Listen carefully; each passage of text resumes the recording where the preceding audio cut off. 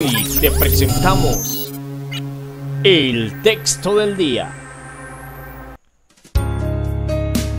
Dios no es hombre para que mienta, ni hijo de hombre para que se arrepienta. Él dijo y no hará, habló y no lo ejecutará.